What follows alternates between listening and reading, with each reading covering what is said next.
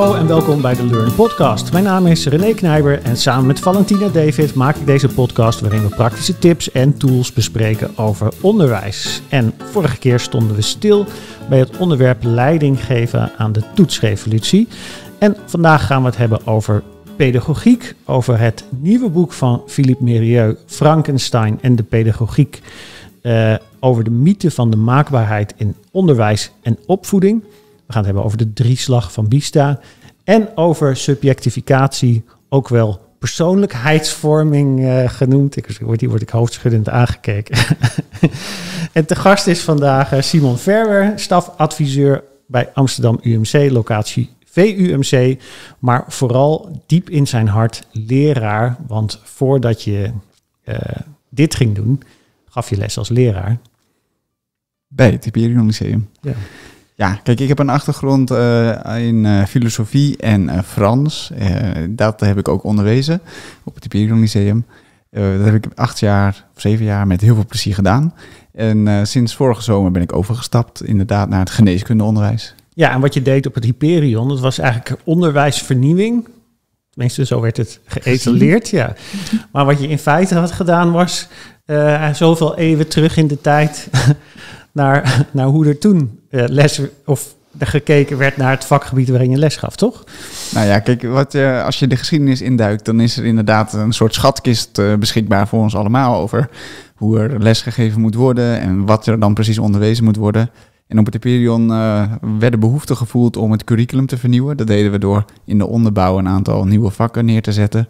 Grote denkers, logica en argumentatieleer en lifestyle informatics. En dat uh, bleek inderdaad wel een bepaalde aantrekkingskracht te hebben.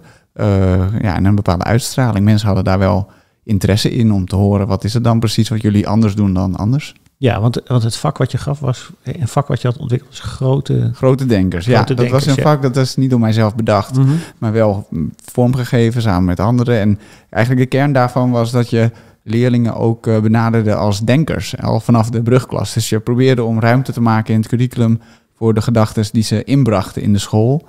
In plaats van dat je alleen maar ja, uitleg gaf over wat andere mensen hadden gedacht. Ja, ja en dat was dan een soort mix tussen volgens mij filosofie, uh, retorica, klopt dat? Ja, dus bij grote denkers ging het veel over filosofen, maar ook wel over nou ja, gewoon mensen die van belang zijn geweest in de geschiedenis als politiek leider of als kunstenaar. En in dat andere vak, logica en argumentatieleer, ja, daar probeerden we dan uh, nou ja, logica te stoppen, propositielogica, predicatenlogica soms. En dat was een vernieuwing, zo je wilt. En eigenlijk bedoeld om een moderne variant van het gymnasium neer te zetten naast de klassieke variant met Grieks en Latijn. Dus je koos na de brugklas, uh, doen we Grieks en Latijn of gaan we voor de nieuwe variant van het gymnasium? Ik heb eens zitten terugrekenen, Simon. En uh, volgens mij kennen we elkaar al een hele tijd. Alleen ik ben de precieze datum ben ik kwijt. Volgens mij is het de eerste keer dat wij elkaar gezien hebben op de leraren met lef bijeenkomst in uh, uh, waar was dat? In Maarsen, in, die, in de fabriek was dat. een hele grote bijeenkomst voor leraren waar je alleen op uitnodiging. En, en, volgens mij heb ik je daar toen heel kort even gesproken. Volgens mij is dat de eerste keer dat we elkaar gezien hebben. En volgens mij hebben we elkaar wat langduriger gesproken op de, nou ja, sowieso online natuurlijk, want uh, je bent alweer wat actiever op Twitter na een lange radiostilte. en uh, en uh, toen hebben we elkaar denk ik uitgebreid gesproken op de International Teaching Summit die in, in Amsterdam werd georganiseerd. En ja, en eigenlijk ja, delen we een soort passie voor dezelfde dingen. Dus aan de ene kant voor, uh, ja, voor professionaliteit van leraren, denk ik, als ik het zo mag, uh, mag noemen. Van wat is nou die professionaliteit van leraren? Wat vraagt dat? En aan de andere kant zijn we ja, eigenlijk ook gefascineerd door, uh, ja, door, door pedagogische denkers. Hè? Dus uh, zoals Gert Bista en Philippe Mérieux, waar we het vandaag over, over gaan hebben. Uh, ja, en zeker ook hoe dat zich dan verhoudt tot de, tot de professionaliteit van, van leraren natuurlijk. Ja, en jij bent zelfs zo ver gegaan. Kijk, ik heb, ik heb in een van de eerdere afleveringen verteld over mijn vertaling van het prachtige risico van onderwijs. En uh, wat een helse onderneming dat was. en, uh, maar jij hebt toen besloten, nadat ik al die hele gang had doorgemaakt, dat jij ook maar eens een boek zou gaan uh, vertalen. En toen heb jij, ben jij gaan vertalen wat uiteindelijk is gaan heten De Pedagogiek De plicht om weerstand te bieden van Philippe Mérieux. En ehm, ja, en, en je bent zelf zo'n kenner dat je hem ook persoonlijk ontmoet hebt. maar kan je wat vertellen over wat, wie is deze man? Kijk, Gert Bista kent bijna iedereen natuurlijk, dus die man behoeft geen, niet zoveel introductie. Maar Philippe Mérieux kende toen niemand. En uh, ja, dus hoe ben je daar zo bij terecht gekomen? Ja, eigenlijk toch dankzij jouw vertaling uiteindelijk. Want um, in, in die tekst, het prachtig risico, daar uh, gebruikt uh, Gert Bista een aantal keer Philippe Mérieux als bron. En ja, dan zit ik zo in elkaar dat als op het moment dat ik iets interessant vind, dan ga ik verder kijken. En ik heb natuurlijk ook een uh, achtergrond in de Franse taal en cultuur. Dus ik kon uh, die boeken tot mij nemen. En ja, ik merkte eigenlijk dat hij een uh, bepaalde manier van schrijven en denken deelde met Gert. Die ik interessant vond en die ik eigenlijk ook de moeite vond, de waard vond om te ontsluiten aan de Nederlandse, Nederlandse publiek. En kijk, in het denken van Gert uh, spelen een aantal concepten of denkbeelden een hele belangrijke rol. En daar gaan we het ook nog later over hebben in deze podcast. Maar dat idee van het subject en die taal die daarbij hoort, dat is eigenlijk een hele rare manier van praten natuurlijk voor de meeste mensen. Want ja, subject, wat betekent dat nou eigenlijk? Ja. En um, ja, omdat hij ook, um, omdat zowel Gert als Philippe eigenlijk die terminologie hanteerden, zag ik daar wel echt uh, de moeite in om dat te vertalen. Omdat op het moment dat je die term gaat populariseren, dat je die breder bekend gaat maken, dan win je iets volgens mij. Dan voeg je iets toe aan de manier van denken en praten, die in Nederland ook wel heeft bestaan, maar die samen met uh, de pedagogiek als wetenschap eigenlijk nou ja, een, een, sinds een aantal decennia wat onder druk is komen te staan. En er is een bepaalde manier van praten over onderwijs en opvoeding die volgens mij in leven moet worden gehouden, waar ik me voor in wil zetten. Mhm. Een uh, nou ja, wijsgerige pedagogiek wordt het ook wel genoemd, of antropologische benaderingen van de pedagogiek. En nou ja, in die teksten vind je dat heel mooi terug. En uh, ja, De Plicht om Weerstand te bieden was eigenlijk een boekje waarvan Gert ook met name zei... ja, als je dan een boekje begint te vertalen, doe dan die. Ja, ja want die, die, eh, ik weet dat Gert Biesta, die heeft zichzelf Frans geleerd om uh, de Merieux te kunnen lezen. Hè? Dus dat, dat, voor, dat heeft, is gelijk opgetrokken, zeg maar. Zijn fascinatie voor het werk van Merieux en, en, en het Frans leren. Dus dat is sowieso bijzonder natuurlijk. En inderdaad, hè, dat subject, dat komt steeds, het werk van Gert terug, verwijst dan vaak naar, uh, uh, naar Merieux. En, en, en, en wat dus heel interessant is, is uh, ja, vaak pakt hij ook quotejes. Hè? Dus vandaag postte jij ook nog een quote daarover. Hè? Een leerling-subject is in staat om in de wereld te zijn zonder zichzelf in het centrum van de wereld te plaatsen. Natuurlijk een prachtige quote, maar ook weer dat woord subject zit daarin. En, en ja, en jij zegt al van ja, je moet eigenlijk wel goed weten wat dat woord precies betekent. En, kun je daar iets over vertellen? Wat, ja, kijk, ik denk dat het de moeite waard is om ja, toch uh, in deze podcast die zich erin voor inzet, uh, vind ik altijd als ik luister, om het kwaliteitsbesef in uh, Nederland naar een hoger niveau te tillen. Om ja, zijn pleidooi te houden voor toch kennisname van de achtergrond van dat idee omdat, ja, vaak wordt er toch gezegd, het is een te ingewikkeld idee, een te ingewikkeld begrip, dus we moeten het anders verwoorden. En dan inderdaad gaan mensen over persoonsvorming of andere ja, ombuigingen van uh, dat idee praten. Maar dan gaat er iets verloren. En eigenlijk wat ermee verloren gaat is uh, wat je in de filosofie noemt uh, de ontologische dimensie van een uitspraak over hoe het betekent om in de wereld te zijn. En laat ik dat proberen om iets concreter te maken. Namelijk dat op het moment dat je zegt um, iemand bestaat als subject, dan zeg je tegelijkertijd twee dingen. Het eerste wat je zegt is dat diegene onderworpen is aan het bestaan. Dus jij, nog ik, hebben gekozen om te bestaan. Dus we mhm. zijn er. Ja. En ja, dat is nogal iets. Dus dat is wel belangrijk om je rekenschap van te geven. Mhm. Nou, dat betekent ook daarmee dat je subject bent aan iets anders. Dus je bestaat in de wereld. En dat levert al meteen een ander beeld op dan een idee als identiteit of als persoon. Omdat de relationaliteit van dat idee van subjectiviteit, dat zit niet in die andere begrippen. En die relationaliteit, ja, die is heel eigen aan onderwijs. Lesgeven gaat over relatie. Dat kunnen we allemaal wel erkennen. Dus dat idee van dat subject betekent al heel snel dat je die relatie centraal stelt. Niet alleen tussen twee mensen, maar ook tussen een subject en de wereld buiten zichzelf. Nou, en in, in de tweede betekenis van het woord, die altijd terugkomt, is dat in de filosofie het onderscheid wordt gemaakt tussen een subject en een object. En we kennen allemaal wel de uitspraak bijvoorbeeld dat vrouwen soms geobjectiveerd worden tot lustobject. En dus dat betekent eigenlijk dat je iemand een bepaalde identiteit opplakt en dat is het dan. Mhm. En zowel Gert als Philippe die zetten zich ervoor in dat mensen, eh, en in dit geval leerlingen, moeten kunnen bestaan in vrijheid als subject. Dus dat betekent dat ze niet als object benaderd worden. Dus als ik een leerling voor mij heb, dat ik eigenlijk alleen maar nou ja, iemand voor mij heb die passief iets moet ontvangen van mij. Maar dat ik ook altijd erken of probeer te erkennen dat iemand daar tegenover mij zit die eigenlijk vrij is om zelf keuzes te maken. Ja, en volgens mij is dat ook uh, ja, het, het grote thema eigenlijk in het boek Pedagogiek, uh, de plicht om weerstand te bieden. Uh, toch? Want ja, dat gaat heel, gaat, ja, eigenlijk bijvoorbeeld, er zit een heel schema in hè, van hoe kun je nou een leerling benaderen als een subject hè, om hem te, te subjectiveren, zeg maar.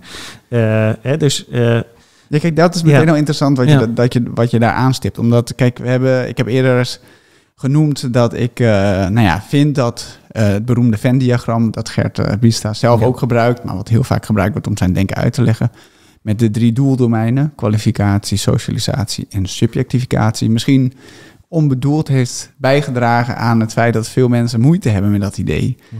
En dat is denk ik simpel uit te leggen als je kenbaar maakt dat het goed denkbaar is dat mensen gekwalificeerd kunnen worden en mensen kunnen gesocialiseerd worden.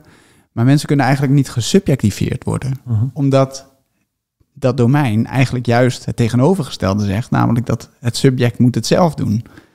Dus ik kan niet in de plaats van een kind leren.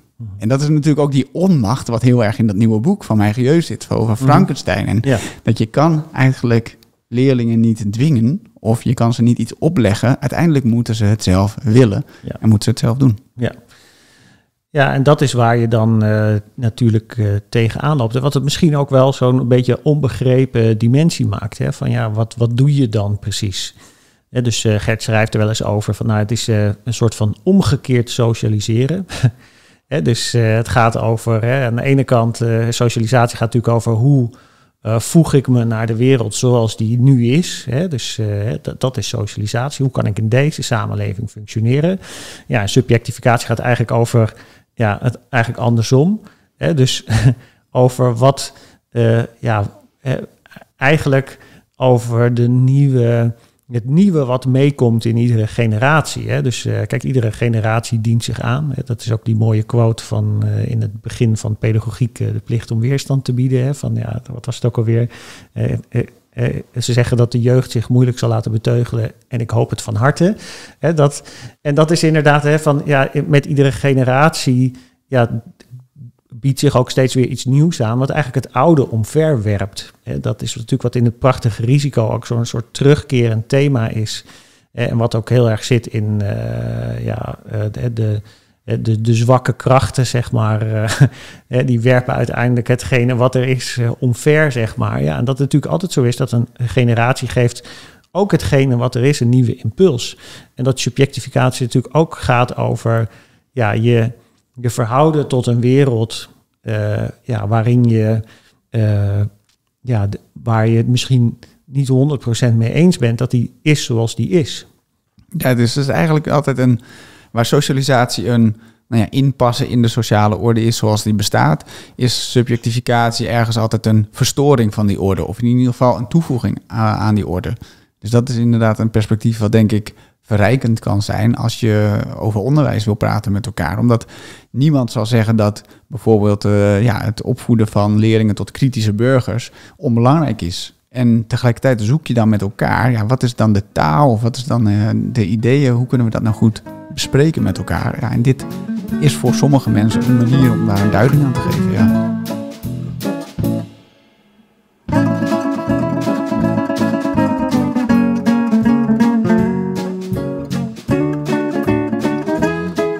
Dat boek, uh, De Pedagogiek Plicht om Weerstand te bieden, is natuurlijk al een tijdje geleden verschenen. Uh, ik weet even uit mijn hoofd, volgens mij is in 2016 verschenen, dus uh, vijf, jaar, vijf jaar geleden. Ja, en nu is er dan een, een volgende vertaling van een boek van hem. Dat komt op 16 juni uit. Dat heb jij niet vertaald, maar wel Wouter Pols, ook een uh, kenner en en fanaticus, zou ik willen zeggen, die, die eigenlijk zei van ja, we moeten meer boeken ontsluiten natuurlijk voor Nederland, voor het Nederlands taalgebied. Want ja, er is natuurlijk heel veel Kijk, we zijn een beetje ja, geneigd om te kijken naar, naar Engeland voor boeken, want we zijn natuurlijk allemaal goed in Engels. En, maar ja, daar is eigenlijk niet zo'n sterke pedagogische traditie. En die is natuurlijk wel op het Europese vasteland, hè, vanuit Duitsland, vroeger in Nederland, maar dat zijn we eigenlijk weer enigszins vergeten. Maar ja, je hebt natuurlijk ook een heel sterke traditie in Frankrijk, in Zwitserland, Italië, nou ja en, en eigenlijk is dat allemaal, ja, kunnen wij daar niet bij. Daarom denk ik dat we ook blij mogen zijn dat iemand als Wouter Pols besluit om, om een boek te vertalen. En, uh, ja, en ik ben zelf dan ook de uitgever van dat boek. dus Wouter die mailde mij ook van, nou, ik wil weer een nieuw boek maken. Ik zei, nou, ik heb geen idee wat erin staat, want mijn Frans is, nou ja, is niks. Dus, en die had toen een hoofdstuk vertaald uit dat boek. En ja, en kijk, en het eerste is natuurlijk, het is natuurlijk een prachtig concept sowieso. Hè? Want uh, het boek gaat, ja, kijk, waar ik van hou in, in, boeken van pedagogen, en niet per se zoals die van Gert Biesta, want Gert, Gert is natuurlijk heel postmoderne pedagoog, uh, zou ik hem willen noemen. maar kijk, als je kijkt naar bijvoorbeeld Kortjak hè, en Marie, dan, dan gebruiken ze heel vaak combinaties van dingen, van literatuur, van uh, kunst, uh, zoals in Vergeten Samenhangen, waarin uh, Mollenhauer zeg maar, de link legt tussen, tussen opvoeding en, en kunst, schilderijen, dat soort dingen ja, doet uh, meer Merieux dat ook hier. En wat hij eigenlijk doet, staat deels al in de titel. Hè. Je hebt de Frankenstein uh, en je hebt natuurlijk uh, Dokter Frankenstein en het monster van Frankenstein. Ja, en dat is natuurlijk een soort verhaal hè, wat eindigt in een nachtmerrie. maar wat hij eigenlijk doet, is voortdurend, ja, eigenlijk steeds weer ja, verwijzingen naar literatuur hè, om, om zijn punt te maken. Hè. Dus kijk, het is niet een, een pedagogiek is niet een soort wetenschap waarbij je zegt van nou, ik doe uh, uh, een analyse en, en ik doe even een, kijken wat de effectgrootte is. En, nou, en dan weten we hoe we iemand gaan subjectificeren, zeg maar. dat, dat, dat is natuurlijk niet hoe het werkt. maar, maar wat, wat zij, Kortjak bijvoorbeeld ook heel erg deed, was ja, verhalen en, en ervaringsverhalen. de praktijk verbinden met de theorie en met literatuur. En dan om erover na te denken van ja, wat is nou eigenlijk verstandig? Ja, en, en, en zelf heb ik ook bij dit boek van uh, Meyrieux, hij, ja, dan, dan, haalt hij steeds allemaal verhalen bij, zoals Frankenstein en Dokter uh, en, en, het monster, zeg maar. Uh, maar ja, wat ik zelf heel mooi vond, was ook dat hij ja, dat ook doet bij Pinocchio. En, en eigenlijk is de centrale gedachte van het boek dit, hè, van waar je steeds, de situatie waarin je steeds in opgescheept raakt als opvoeder hè, of als onderwijzer, is dat je iemand voor je hebt die is eigenlijk vrij om te handelen zoals die wil. Jij moet er iets van maken, maar over ja, en die ander snapt dat eigenlijk ook wel. Maar ondertussen heeft iemand een vrije wil en krijg je er geen greep op met, vanuit jouw wil. Ja, en dat wordt natuurlijk heel mooi in het verhaal van Pinocchio via allerlei ja, routes, zeg maar, duidelijk gemaakt dat dat zo is. Hè. Vanaf al het begin dat het een stuk hout is en dat, dat bewerkt wordt hè, door Geppetto. En, dan, uh, en, dat die, uh, ja, en dat Pinocchio eigenlijk uh, protesteert. Hè, dat het stuk hout roept auw, zeg maar. Hè, van ja, ik wil dit helemaal niet. Hè. Dus ja, en in dat proces natuurlijk, ja. Dus ik vond het heel mooi. Doet hij eigenlijk op, ja, via allerlei verschillende verhalen ook. en, en redenaties maakt hij heel mooi duidelijk van ja, wat, wat nou het dilemma eigenlijk is. dus voor mij was dat er, eigenlijk, ja, vond het zo mooi om te lezen. dat, eh, dat ik dacht, nou ja, het zou ook mooi zijn als dat natuurlijk voor Nederland beschikbaar is. Dus, ja, uh, ja, kijk, ik, ik, wij mogen in Nederland ontzettend blij zijn met jouw activiteiten, René, vind ik. Omdat dit inderdaad een manier van denken en praten en schrijven over onderwijs en opvoeding is die ja, eigenlijk op een andere niveau zich begeeft dan nou ja, heel veel andere onderwijsliteratuur. En voor mij uh, zijn dit soort fundamentele, politieke, ethische vraagstukken altijd van belang. En um, in dit geval vind ik het ook zo interessant dat uiteindelijk als je doordenkt, dan wil je ook niet dat de leerlingen die voor jou zitten altijd doen wat je wilt. Nee. Je wilt ook dat ze af en toe niet doen wat je wilt. Niet alleen omdat het anders saai is, maar omdat ze anders eigenlijk ook niet bestaan. In de zin van dat ze geen getuigenis uh, niet laten blijken van dat ze die vrije wil hebben, die ze natuurlijk wel moeten hebben. Dus ergens is er iets heel paradoxaals in de pedagogiek altijd aan de hand. Want aan de ene kant wil je als nou ja, opvoeder of onderwijzer dat ze gaan doen wat jij wilt dat ze doen. En tegelijkertijd wil je dat ook weer niet. En juist dit boek gaat heel erg mooi, eigenlijk dankzij die verhalen in op dat vraagstuk van die paradox omtrent vrijheid. Ja, precies. Ja. En, en de, maar de, ik zelf vind ik dat ook. Ik vind het altijd heel interessant om te lezen en over na te denken. Omdat op een of andere manier laat het ook zien wat van, hè, van, van mij als leraar gevraagd wordt. Uh, op het moment dat ik bijvoorbeeld met uh, onderzoek geconfronteerd raak. Hè, dat iemand zegt van nou, dit is een hele belangrijke uh, onderzoek geweest, zeg maar.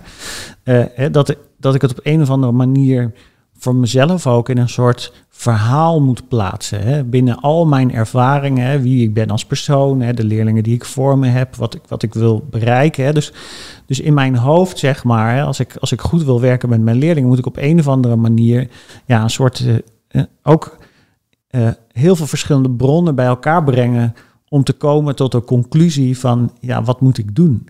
En ik vind dat uh, in het, bijvoorbeeld in de boeken van Kortjak, van Janus Kortjak, vind ik dat ook altijd heel mooi. Hè? Want hij heeft dan een weeshuis, hè, een oude pedagoog van vroeger. Hij heeft een weeshuis heeft hij opgericht.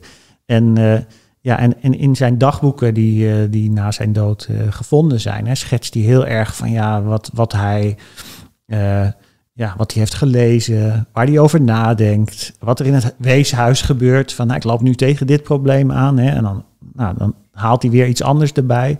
En ik denk dat dat ook iets is hè, van ja, dat je, je, je hebt zo'n brede opdracht. Hè, dus uh, het is niet eens een, een, een, als je al zou zeggen, je hebt drie opdrachten, je moet kwalificeren, socialiseren en, en subjectificatie op een of andere manier dan doen. Hè, wat dan niet zo instrumenteel is als die andere twee. Ja, dan moet je het toch ook veel meer als ja, in je als persoon, zeg maar. Dus misschien al als ik docent ben en ik hoor jou zeggen, ja, ik wil ook wel eens dat leerlingen niet doen wat, uh, wat er van ze gevraagd wordt. Uh, dat ik dan denk van, ja, maar waarom zou ik dat eigenlijk willen? ja, waarom zou je dat willen? Ja, ja nou, dat is natuurlijk, denk ik, uiteindelijk dat we met mensen van doen hebben. En niet met objecten die we zomaar naar onze wil kunnen vormen. En dat juist wat onderwijs aantrekkelijk maakt om, om als leraar te werken, is dat, mensen, dat het mensenwerk is. En juist die interactie opzoeken met elkaar en proberen om er wat van te maken. En het ontdekken van elkaar. En ook ja, het ontdekken van wat je wilt. Want dat is ook natuurlijk iets, denk ik, wat in dit boek heel mooi naar voren komt. Is dat de wil als onderwerp specifiek bij jongeren heel interessant is. Dus wat wil je, wordt, wordt vaak gevraagd van jongeren. Maar ja, dat is ook vaak een te complexe vraag voor hen. Daar worden ze altijd een beetje door overvraagd. Of ja, ze weten, ja, wat wil ik? Weet ik veel wat ik wil. Ik wil eigenlijk vooral gewoon een beetje uitzoeken, uit, uit vogelen van wie, ik, uh, van wie ik ben en hoe ik de dingen wil doen. En die, uh, nou, die wil en hoe dat precies pedagogisch functioneert en hoe je daar als leraar je dan weer toe moet verhouden. Dat is voor mij weer bijvoorbeeld een andere benadering dan spreken over motivatie. En dat zijn dus twee discoursen die als het ware naast elkaar bestaan, maar elkaar niet zo vaak raken. En ja, bijvoorbeeld um, motivatie en interesse, dat zijn ook twee concepten die dicht bij elkaar liggen, maar toch eigendom zijn, of ja, hoe moet ik het zeggen, behoren tot een ander discours. Dus als ik uitga van dat ik als docent de taak heb om de interesse te wekken bij de ander, dan zeg ik eigenlijk iets anders dan wanneer ik probeer om te zeggen dat ik de taak heb om nou ja, de motivatie op te roepen bij de ander. En het mhm. zijn nuances en het zijn subtiliteiten, maar ik denk dat het heel waardevol is om met elkaar allebei die discoursen te blijven bezigen. En beter nog, om ze met elkaar in dialoog te laten geraken, zodat nou ja, de psychologische kant van onderwijs en de pedagogische kant van onderwijs ja, elkaar kunnen versterken. Ja, maar is het dan, hè, als je dus zegt van nou, ik wil mijn leerlingen motiveren, hè, dat is dan meer dan hoe kan ik ze motiveren voor iets wat, uh, ja, wat ze niet willen? Dat, eigenlijk. En en, en interesse gaat dan misschien meer over dat je ontdekt wat je eigenlijk wil. Als, uh, als je interesse wil opwekken. Of, of hoe moet ik dat zien? Ik denk dat het uh, eigenlijk de constatering zou moeten zijn dat je een ander niet kan motiveren. Hm. Dus je kan de omstandigheden proberen zodanig te organiseren dat er motivatie ontstaat. En dat is denk ik dus een nou ja, valkuil waar veel in wordt getrapt door nou ja, allerlei docenten en opleiders. Dat er een grote nadruk uh, eigenlijk wordt gelegd op executieve vaardigheden bijvoorbeeld. Terwijl dat niet het uh, onderwerp is waar we het over zouden moeten hebben. Want natuurlijk zijn executieve vaardigheden belangrijk. En uh, je moet er aandacht voor hebben in de zin van dat je duidelijk moet proberen te maken aan leerlingen dat je daar jezelf mee kan verbeteren. Je leergedrag bijvoorbeeld. Of uh, nou ja, andere nou ja, competenties en vaardigheden. Maar uiteindelijk als een leerling de wil niet heeft om in beweging te komen, ja, dan, dan slaat het als het ware dood. Dus ik probeer aan te geven dat door ook over pedagogische concepten te spreken, zoals de wil en interesse, dat je net een andere nou ja, snaar raakt als het ware dan wanneer je motivatietheorie enkel bezigt.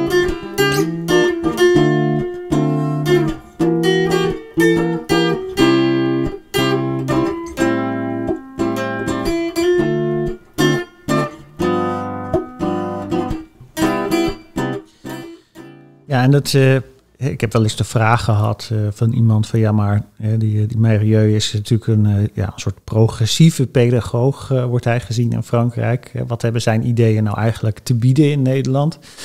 En natuurlijk, het, het, het, ja, de ondertitel van zijn nieuwe boek is hè, over de mythe van maakbaarheid in onderwijs en opvoeding. En ja, en Kijk, ik ken de Franse situatie niet goed genoeg natuurlijk. Hè? Dus dat daar misschien heel erg die mythe van maakbaarheid wel uh, ja, heel prominent aanwezig is. Hè? Maar uh, zou jij zeggen dat die boodschap dat die voor Nederland ook uh, ja, relevant is? Ik denk zeer zeker, omdat in het debat het eigenlijk vaak een schijntegenstelling wordt tussen aan de ene kant een bepaalde conservatieve opvatting van onderwijs, waarin de docent aan het roer staat en de leerlingen vooral nou ja, eh, naar de directe instructie moeten luisteren en oefenen en doen wat er gezegd wordt. Versus een nou ja, soort progressieve uh, vleugel die zou zeggen dat ja, je moet beginnen bij de interesses van het kind en de wil, et cetera. En dat we eigenlijk door die tegenstelling niet veel verder komen. En Meirieu en anderen die komen met eigenlijk de suggestie van dat er nog een andere optie bestaat en dat is ja, die optie die meer op de wereld gericht is, zou Gert Biester denk ik zeggen. En ik denk dat uh, in dit, dat opzicht het wel heel relevant is om nou ja, oog te houden voordat er ook uh, in het debat vaak ja, geen dialoog ontstaat tussen eigenlijk die twee kampen, zo je wilt, zoals het dan soms uh, nou ja, wel lijkt te bestaan, moet ik zeggen. En dit boek is eigenlijk denk ik een voorbeeld van ja, hoe er eigenlijk een optie zou kunnen zijn om toch te kunnen kijken naar wat heeft onderwijs uh, eigenlijk te doen als het gaat over die relatie tussen de leraar, de leerling en de leerstof ten opzichte van die wereld waar het allemaal in moet gebeuren. En die maakbaarheidsgedachte, ja, dit komt er altijd sterk voort uit dat er een soort conservatieve reflex lijkt te bestaan. Hè? Dus op het moment dat onderwijs niet goed genoeg functioneert, dan zou er weer uh, nou ja, terug naar de, het gezag van de leraar moeten worden hersteld. En uh, ja, de leerlingen moeten vooral beter luisteren en beter hun best gaan doen. Mhm. En ja, dat schiet tekort, zou ik, zou ik willen zeggen. En ja, relevant daarbij is de actualiteit natuurlijk met alle nadruk op de evidence-informed nou ja, stukken eh, theorie die beschikbaar worden gesteld, die op zichzelf heel waardevol zijn. Maar als je niet uitkijkt, eh, leidt het tot een bepaalde deprofessionalisering van de leraar. Waarbij eigenlijk dat bredere, grotere plaatje waar dit soort type boeken over gaan, ja, uit het oog verloren raken. Ja, want dan kom je heel erg in de situatie dat je dus zegt van nou, als je dit doet, je doet A in de les, dan gaat dat B opleveren. Ja, ja precies. En dat is die effectiviteit. En als je eigenlijk al heel snel in, gesprek, uh, in gesprekken met eigenlijk alle onderwijzers, dan kom je tot de constatering samen dat goed onderwijs nooit gelijkgesteld kan worden aan effectief onderwijs. Dat daar altijd nog iets anders ook bij zit. En dus ik, ik, ik zeg wel eens voor de gek, ja, ik ben eigenlijk dol op juist ineffectief onderwijs. Eigenlijk om alleen maar kenbaar te maken dat effectiviteit geen doel is van onderwijs. Dus effectiviteit is eigenlijk een uitspraak over hoe je van A naar B gaat en hoe je dat het beste kan doen. En tegelijkertijd, ja, in zo'n model wat in de plicht van weerstand, uh, plicht uh, om weerstand te bieden is opgenomen, worden er eigenlijk drie dimensies uh, aangestipt door Marieu. Hij zegt aan de ene kant heb je de wetenschap, die is heel relevant, daar moeten we het over hebben. Inzichten uit de onderwijskunde, uit de cognitieve psychologie, heel belangrijk. Hij zegt de tweede poot is ook de, de praktijk, want uiteindelijk moeten die inzichten vertaald worden naar hoe kan je dat dan het beste realiseren. Maar er is ook nog de derde, en dat is die fundamentele poot, die noemt hij de axiologie. Dus eigenlijk de doel en de bedoeling van onderwijs. En Mhm. ja, wat er wel eens verloren gaat in dat gesprek tussen die twee, eh, nou ja, schijntegenstelling dus, die ik eerder noemde, tussen de traditionele en de meer progressieve kant van het onderwijs, is dat eigenlijk dat hele pakket ertoe doet, samen. En dat als je dat ook samen gaat bespreken met elkaar, dat je eigenlijk veel naderbij bent al, dan je misschien eh, wellicht denkt. Ja, ja, want voor mij is dat vaak een beetje de missing link. eh, is dat je nadenkt als leraar hè, over de doelen die je nastreeft. Hè, van wat wil ik nou eigenlijk bereiken? En wat zijn nou voor mij de, eh, de goede manieren om dat te doen?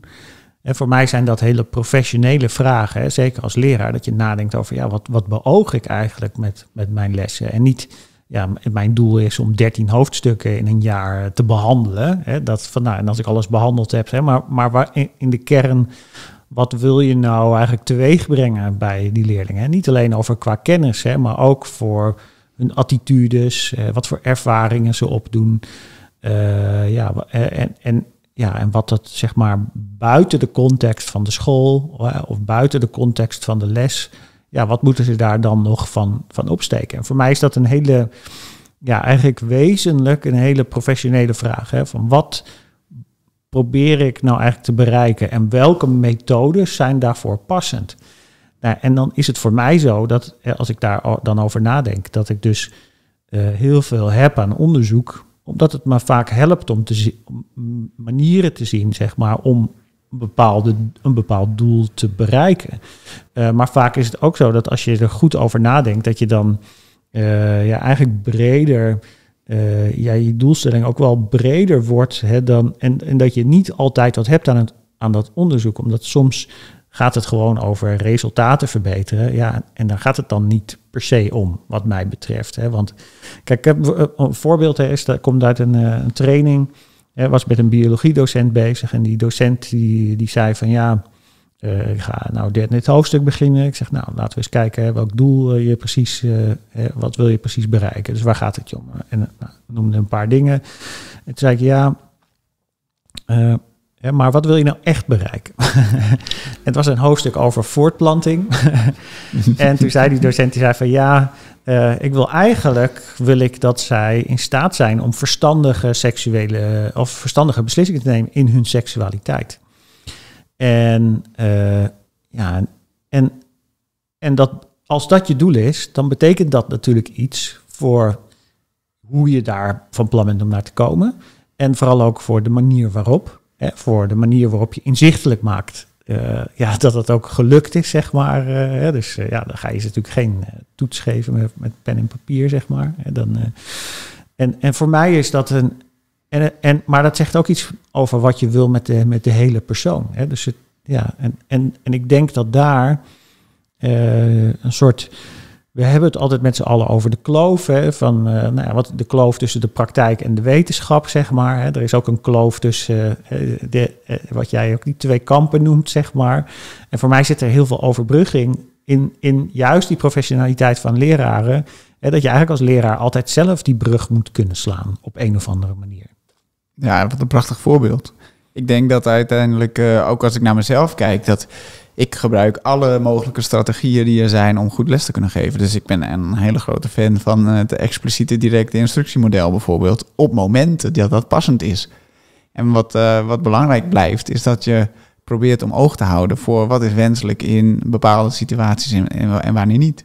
En het is niet altijd uh, het juiste nee, de juiste manier om de dingen aan te vliegen. En, ja, dus, en wat je zegt over professionaliteit, juist dat kwaliteitsbesef waar jullie het eerder over hebben gehad, ja, die zou ook over dit soort vraagstukken moeten gaan, wat mij betreft. En uh, ja, dus ja, ja, tot daar. Ja, ja nee, er was ook een vraag die ik kreeg naar aanleiding van het boek Doorloopjes. Dat uh, iemand vroeg van ja, ik ben zo fan van Gert Biesta en uh, ja, dat heb jij vertaald. En je hebt ook doorloopjes vertaald. Ja, wat hebben die twee nog met elkaar te maken? Ja.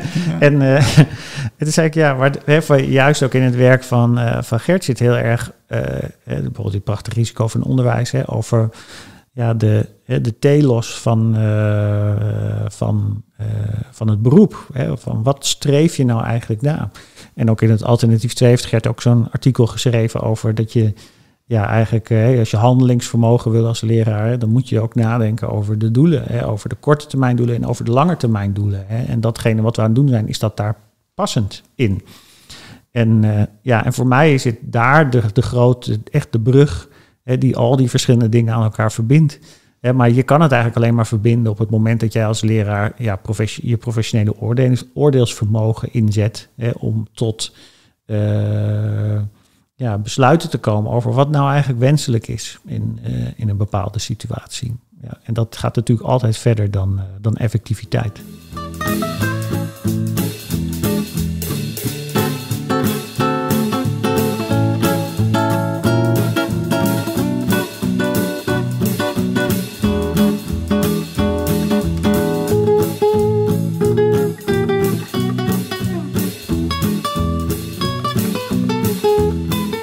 Ik denk dat er soms een beetje ten, ten onrecht, maar misschien ook wel terecht ergens, eh, ja, pedagogiek toch als iets een beetje abstract en ingewikkeld uh, wordt neergezet. Eh, van ja, daar heb je dan, het is al zo ingewikkeld en dan komt de pedagoog het nog ingewikkelder maken. Ja, en ik snap dat ergens wel, hè, zeker met het werk van Gert Biesta natuurlijk, wat gewoon echt uh, ja, niet concreet is en ingewikkeld, uh, filosofisch, uh, ja, lastige boeken om te lezen. Um, maar ja, ik, maar dat ja, zou niet, eigenlijk niet het beeld moeten zijn wat je hebt. Want er zijn natuurlijk ook heel toegankelijke boeken, zoals Ik ben ook een mens van van Joop Berding, waarin hij ja, eigenlijk drie pedagogen bespreekt, of ja, mag ik eigenlijk niet zeggen, maar denkers over, over onderwijs en opvoeding. Hè. John Dewey, uh, Janus, Janus en, uh, en Hannah Arendt uh, bespreekt hij daar echt op voortreffelijke, voortreffelijke manier. En ja, en zelf ook denk ik dat ja, Mirieu ook ja, naast dat, het, dat je het anders niet zou kunnen lezen, dat het de, moeite waard gewoon is om te kijken van ja, hoe wordt er over gedacht maar dat hij ook een soort speelsheid heeft, speelsheid heeft in zijn werk. Eh, wat, uh, ja, wat je bijvoorbeeld bij Gert niet zo snel zult uh, terugvinden. Nee, dus hij deelt aan de ene kant inderdaad die benadering waar we het eerder over hadden. Hè, dat praten in termen van subjectiviteit en subjectificatie. En ik kan me wel echt voorstellen dat leraren daar ja, de, niet 1, 2, 3 bij gevoelens bij hebben. Of in ieder geval kunnen duiden waar het dan precies over gaat. Ik moet wel zeggen dat ik vond dat Hester IJsseling dat ooit mooi zei bij de in, in ontvangstname van een boek van Gert. Die zei van, jij ziet ons voor vol aan door deze complexe boeken te schrijven. En dat heb ik zelf ook wel een beetje dat gevoel van, ja, uiteindelijk als je kijkt naar wat doe je nou eigenlijk als leraar, wat sta je daar nou te doen, dan is het antwoord daarop eigenlijk heel rijk en heel betekenisvol. Want we doen betekenisvol werk. En dat is dus ook in ethische zin, in morele zin, in, in politieke zin. Daar zitten heel veel aspecten aan. En ons beroep verdient het, vind ik, om al die aspecten eigenlijk uh, nou ja, telkens uh, op tafel te krijgen en te bespreken met elkaar en uit te wisselen. Dus dat gaat over effectief lesgeven, wat heel belangrijk is, maar ook over dit soort kwesties. En inderdaad, ik vind dat als je kijkt naar de auteurs, in ieder geval bij jouw uh, uitgeverij, dan zie je dat in mijn geheugen een bepaald plezier zit in een vrije omgang met voorbeelden. Dus hij heeft het over Robocop, over Pinocchio, over Frankenstein. Maar ook in dat eerdere boek haalt hij een aantal mythes aan uh, waarin uh, Kronos gecastreerd wordt. En wat hij daarmee dan uit wil drukken is dat uiteindelijk, als je kijkt naar ja, hoe kinderen volwassen worden, dat er ook een moment komt dat ze echt op eigen benen moeten kunnen gaan staan. Mhm. En dus symbolisch eigenlijk zichzelf lossnijden of afknippen, zoals mhm. dat ook wel verwoord wordt. Mhm. Ja, en dat zijn gewoon hele vindingrijke manieren. En ja, de pedagogiek is ook vindingrijk, want je probeert altijd weer in situaties iets nieuws te doen en iets nieuws te bedenken. En eigenlijk dus probeert hij met die boeken ook een beetje uit te stralen van dat leraren eigenlijk heel creatief werk doen en dat dat nou ja, een bepaalde vrije speelse omgang met cultuur en geschiedenis uh, vraagt. Ja. ja, en dat vind ik mooi ook om uh, ja, toe te voegen aan, het, ja, aan, aan, aan wat er al is. Hè. Dus, uh, en, en dat maakt het ook een, een heel ja, waardevol boek. Hè. Is dat het, ja, het, het, het, het, is net als dat we zeggen van ja, hè, effectiviteit gaat vooral van A naar B. is, is zo'n boek van hem is eigenlijk ook een soort van, die gaat niet van A naar B, hè, maar het is meer, het meandert een beetje, hè, het is een soort lappendeken aan, aan verhalen, aan, aan klassieke, hè, want ja, wie begint er nou een boek met die, die uit de Griekse oudheid, zeg maar, over Kronos en Gaia en nou ja, het is meteen, meteen een heel heftig begin van, van, van zo'n boek, maar er gebeurt, ja, de, en, en, en het is ja, eigenlijk altijd is het, ja, of misschien is dat typisch Frans, dat weet ik, kan ik niet goed inschatten, hè, maar dat het zo, zo meandert. En, uh, ja, en, en, en dat maakt het ook heel interessant om te lezen, omdat je, ja, de, hij betrekt er gewoon ook heel veel facetten, trekt hij erbij. Ja, en wat ook leuk is eigenlijk, en dat zit nog niet eens zo sterk in deze twee boeken, maar wel in zijn loopbaan, is dat hij is echt een leraar. Dus hij is echt een praktijkman die ook theoretisch geïnteresseerd is geweest. En als directeur van een leraar de opleiding, als leraar de opleiding. En eigenlijk ook gewoon als docent in de klas heel veel van die schema's heeft gemaakt. Schema's, het zit ook in, in de plicht om weerstand te bieden van... stel je wil die subjectiviteit van die leerling de ruimte bieden. Wat kan je dan concreet daaraan doen? En wat voor ideeën kan je daarvoor verzinnen?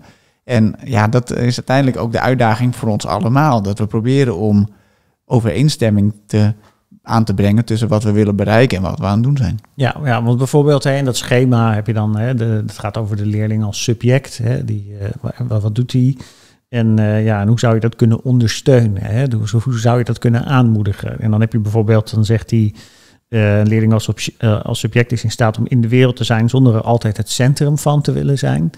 Uh, en dan, nou, en hoe, hoe kun je daar dan toegang toe krijgen zeg, als, als leerling? Nou, dat is doordat hij in staat wordt gesteld een precieze plaats in de groep in te nemen met de rechten en plichten die voortvloeien uit de rol die hij speelt. Ja, dus dat hij, ja, wat hij dan in feite zegt is van ja, geef leerlingen een bepaalde rol met bepaalde verantwoordelijkheden en een bepaalde afbakening. En nou ja, en dat helpt ze dan om, om er veel meer dat in de wereld te zijn zonder altijd het centrum te willen zijn en een, een plek te geven. Ja, en ik kan me ook echt nog herinneren dat hij het voorbeeld gaf bij de boekpresentatie toen de tijd over dat als je groepjes maakt in de klas, dat je eigenlijk op voorhand vaak al kan voorspellen wie wordt degene die alles doet, wie wordt de meelifter en, en wie doet er niks.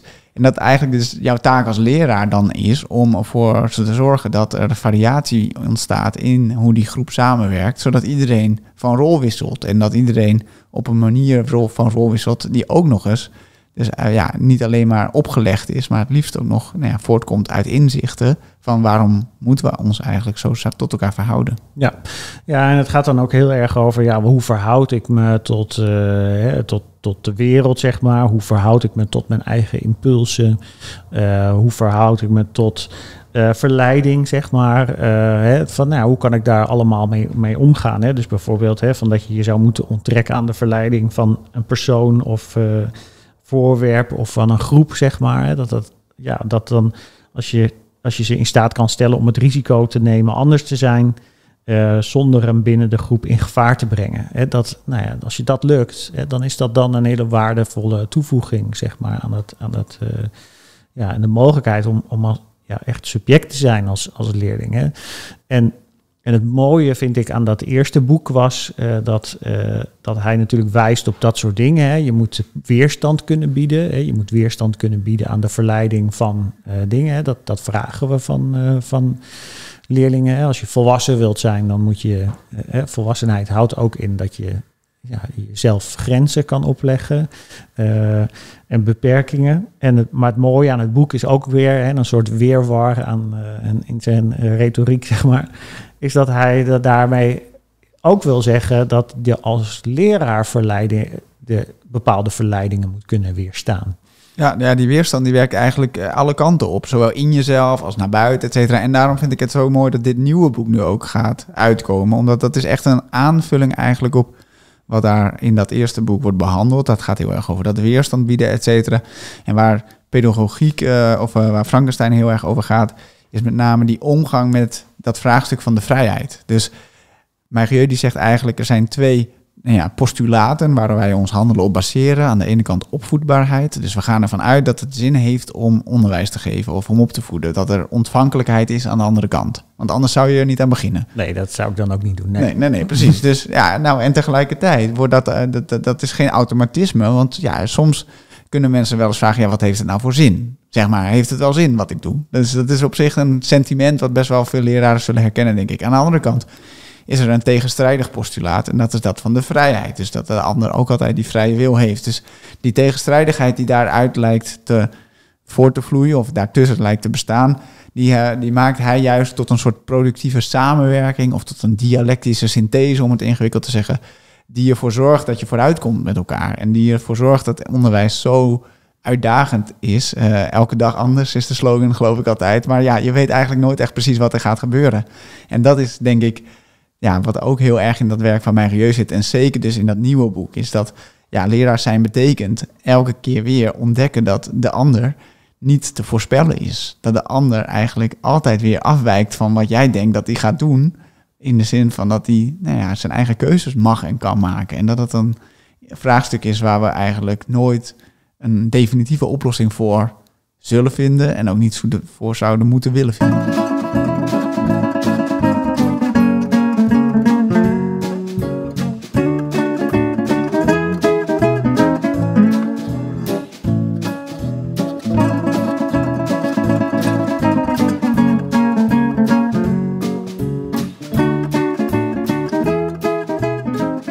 Was het weer voor deze podcast. Het nieuwe boek van Philippe Merieux verschijnt op 16 juni en is tot die tijd met korting te reserveren.